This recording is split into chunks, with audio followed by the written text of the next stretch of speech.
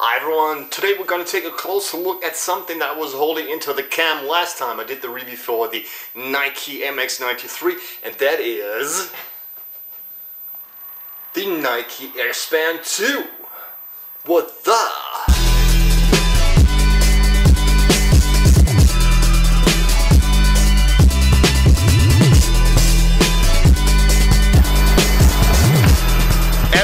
Nike is releasing a retro, you have to ask yourself the question, did they mess it up? Because the past has shown that Nike does not really stick to the original patterns that they have on their OG models. And uh, just take, for example, the Nike Air Icarus. Uh, that was a total catastrophe. The Icarus Extra was a little bit better, but also not very close to the original. And just a shame that they that they keep messing up their their own original models and make something pretty much completely different out of it. Um, with the Nike Air Span 2, is that the case? Did they mess it up? No, not really, but... The Nike Air Span 2 is made completely out of synthetic materials. For example, this gray artificial suede, which is running all around the shoe, and you have a black section, which is an artificial leather.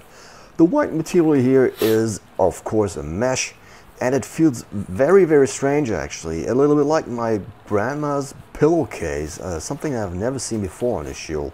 You can also find it here on the tongue and at the heel section of the shoe. Also on the heel section you will find the Nike Air branding.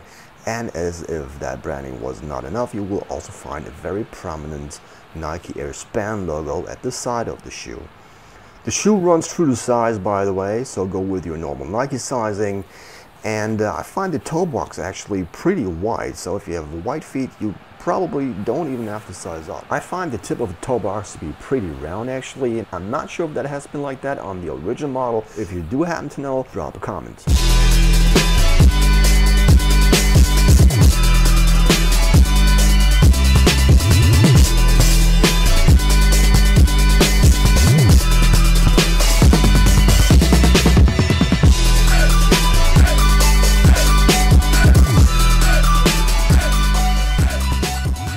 Thing that didn't turn out so great on the Air Span 2 is the tip of the toe box. That little lip in the front of the shoe is pretty high actually and is already pointing backwards and it gives the whole shape a short and stubby look as you can see right here on the on the very top.